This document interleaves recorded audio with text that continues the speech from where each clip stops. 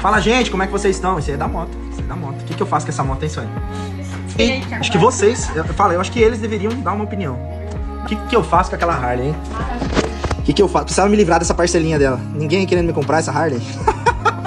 Rapaziada, hoje é um dia muito especial pra mim, sabe? Pra mim, pra minha família, pra tudo, pra, pros meus funcionários, inclusive, pra todo mundo. Exatamente 11, 11 anos atrás, Deus mudou a nossa história, Deus mudou a nossa vida. E muitas coisas a gente viveu, né?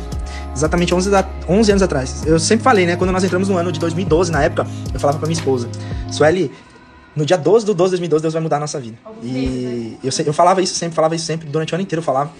E no dia 12 do 12 de 2012, aconteceu algo que mudou, mudou.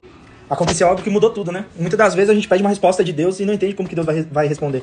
O que a gente precisa começar a entender é que a gente tem que crer, velho. Sabe? Eu digo assim, a gente tem que parar de querer entender como que Deus faz as coisas, porque eu vejo, eu vejo que nós seres humanos nós somos assim, né? Você vai falar para um, por exemplo, eu vou falar para um funcionário, velho, pega algo simples, pega isso aqui, tira daqui e bota para cá. Mas por que que tem que mudar? Para que que tem que fazer? Por que isso, por que aquilo? Nós seres humanos somos assim, mas nós temos que entender que muitas das vezes as coisas que Deus permite acontecer nas nossas vidas, ele não dá explicação. Ele simplesmente permite com que venha acontecer para que um dia a gente venha viver coisas maiores, coisas melhores. E na nossa vida foi totalmente, totalmente complicado, porque Deus respondeu as nossas orações através de uma demissão.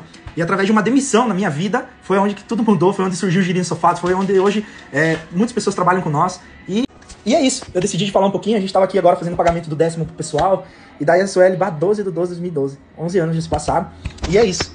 É, quando você, você que sabe que você tem um propósito de Deus na tua vida, você que sabe que Deus tem um.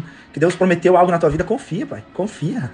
Ah, mas veio com uma resposta ruim, é porque você não entende o mover e o agir de Deus. É porque você não sabe como que Deus quer agir na tua vida.